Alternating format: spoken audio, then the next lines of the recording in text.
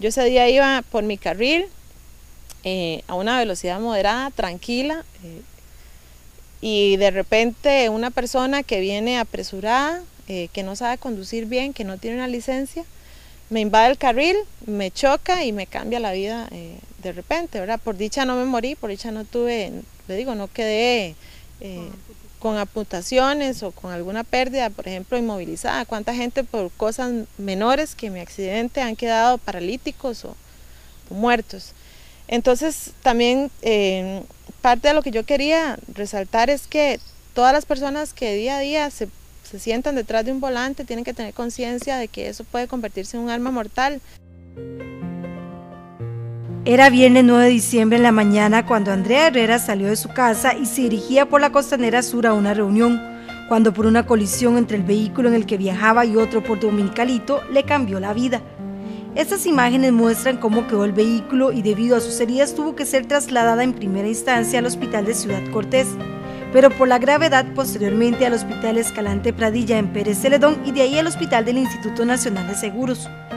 Momentos difíciles pasó esta joven generaleña vecina de Villanueva, muchas heridas en su cuerpo tras los golpes. Fracturas al final del, cuento cuando ya hice toda hicieron todo el recorrido. Eh, antes de operarme en el INS, las otras eh, fracturas que quedaban pendientes, tuve que pasar un proceso de, transfusión de sangre, tuve que ponerme cinco bolsas de sangre porque perdí mucha sangre y quedé mm, con la hemoglobina en 5, que era ya estado anémico y era imposible operarme así.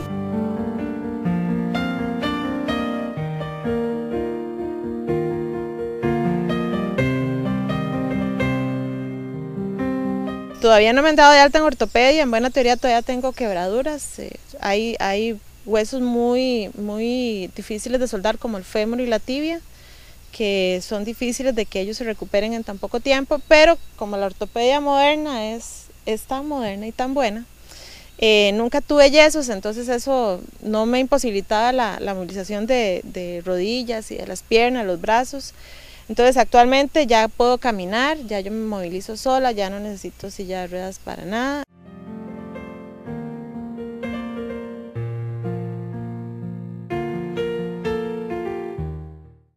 Sí, digamos, es muy cansado, uno pierde, bueno, yo particularmente perdí mucha masa muscular por, todo el proceso. ¿Cuánto peso perdió? ¿Cuánto pesaba y cuánto pesa?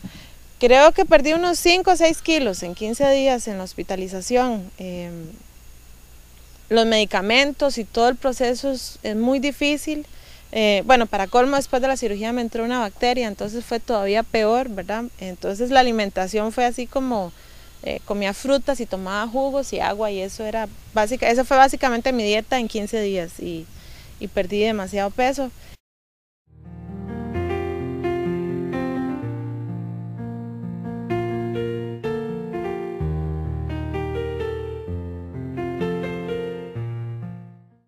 Solo estoy esperando la terapia, que la empiezo ahora el, lunes, para, para ya quedar, como quien dicen, con toda la pata.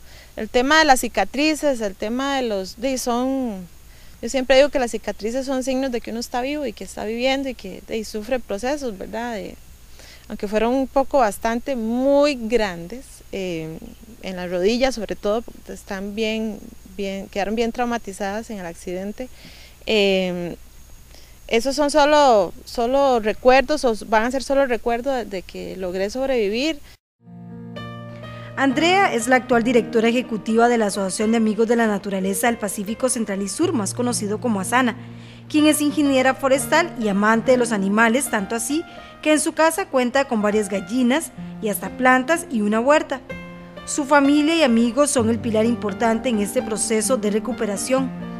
Esta joven afirma que una de las mayores bendiciones que tiene es contar con todos los seguros tanto en salud como de LINS, por medio de los cuales logra pagar todo el proceso. Para ella no es fácil lo que vive, pero tiene mucho optimismo y está segura de que muy pronto saldrá adelante. El caminar y no quedar con ninguna amputación es una bendición.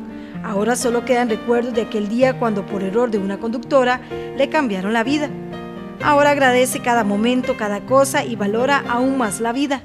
9 de diciembre para mí significa eh, lecciones de vida, aprendizajes y volver a nacer. Eh, Y lo más importante, valorar, valorar lo que uno tiene, lo que uno, el, diario vivir es, se convierte en una rutina al punto de que uno no valora las cosas básicas, ¿verdad?